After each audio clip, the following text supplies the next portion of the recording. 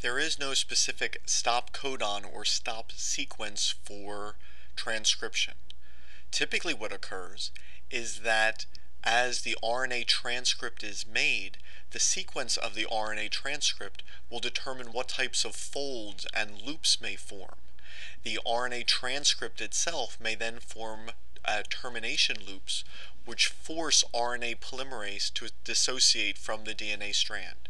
So it may be the sequence of the RNA which forms these loops which then ends transcription rather than being a specific sequence on the DNA.